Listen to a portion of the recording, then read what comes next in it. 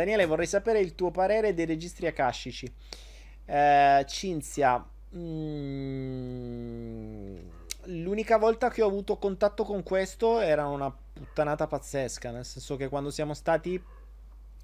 Eh, allora, c'è in India un, uh, un luogo dove ti leggono il futuro e dicono che sono estremamente perfetti. C'è stata anche una puntata di mh, mm, Mistero, Focus, boh, non mi ricordo, dove si parla di questo luogo. Siamo andati lì. Eh, o meglio, non sono andato esattamente io, sono andate due persone che poi mi hanno dato le registrazioni. Usano linguaggio ericksoniano usano linguaggio ericksoniano e, e, ehm, e, fondamentalmente fanno dei finti indovini. Cioè, ti capiscono il passato. Allora, sono dei, lettur- sono dei bravi lettori a freddo, nel senso che conoscono bene la tua comunicazione non verbale. Usano molto l'ipnosi ericksoniana, usano molto il linguaggio ambiguo. Poi col fatto che sono indiani, traducono, non si capisce bene una cosa un'altra, alla fine sembra cioè tu hai la, percezione, hai la finta percezione che loro abbiano indovinato tutto di te, in realtà gliel'hai detto tu, hanno soltanto una buona memoria. Uh, leggono le foglie di... cos'è? Foglie di banana, non mi ricordo. E, e, poi cosa fanno? Convincendoti che ti hanno detto esattamente qual è il tuo passato, ma che in realtà non è così, perché dovete ricordare una cosa. La mente umana distorce fino al 50% delle cose ascoltate è stato fatto un esperimento.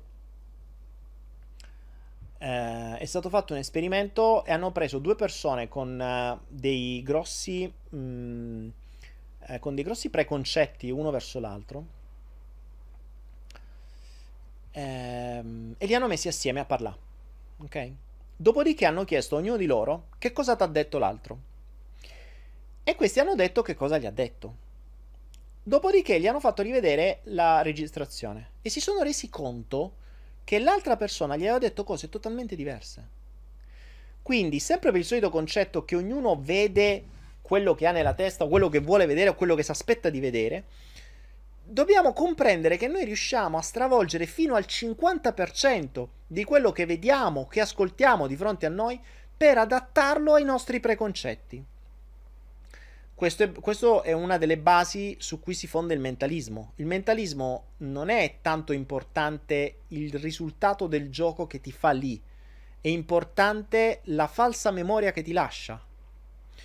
Uh, ci sono persone convintissime che hanno visto davanti ai loro occhi il mentalista o il mago di turno che gli ha piegato il cucchiaio e la forchetta senza neanche toccarla.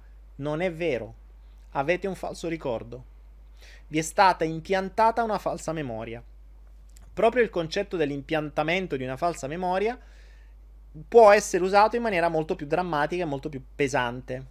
Ecco perché vi dico attenzione con l'ipnosi, perché se lo fa un mago per farvi ricordare una cosa che non è mai accaduta, se lo fa uno con i registri akashici per poi venderti il rituale di an- lasciare andare i morti o i mille mantra che ti ripete lui, basta che lo paghi, eh, va fregato.